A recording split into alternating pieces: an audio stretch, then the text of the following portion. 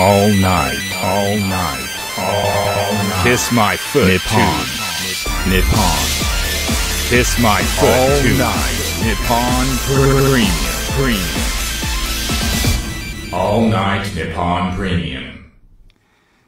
こんばんは。キスマイフット2の藤ヶ谷大輔です。3月までの期間限定でお送りするキスマイフット2のオールナイトニッポンプレミアム。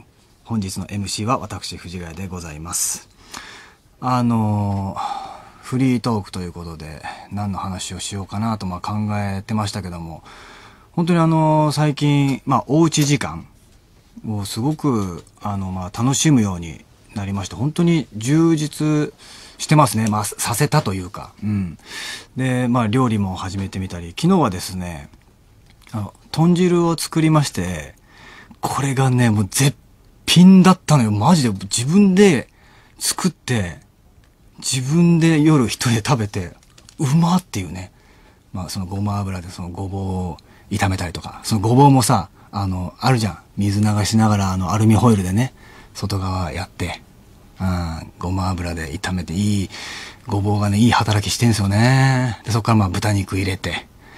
あとはね、うちは、まあうちはってか俺は昨日やったのは、最後に、あの、生姜とか、ニンニクを吸ったのを入れて、これがまたいい働きしてるんですよね。やっぱ豚汁も、本当にいい働きの野菜たちの集まりですね。あで、ちょっとね、豚肉少なくなっちゃったからまた今日足そうかななんて思ってるんですね。あとはまあ、僕はあの本読むのが好きなので本を読んだり、あと韓国のあの配信ドラマを見てますね。あの、何ですか？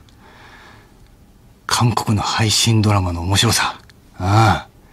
まあ、本で言うとね、ちょっとまあ、あの、僕が好きな本は、あの、辻村瑞希さんの、あの、傲慢と善良っていう本を、あの、よく言ってると思うんですけど、これもね、ぜひ、あの、読んでいただきたいんですよ。本当に、あの、ミステリー要素もあってね、あの、婚約者が忽然と姿を消すところからスタートして、その、彼女に向き合うために、その彼女のこの過去とね、まあいろいろこう、まあ、向き合う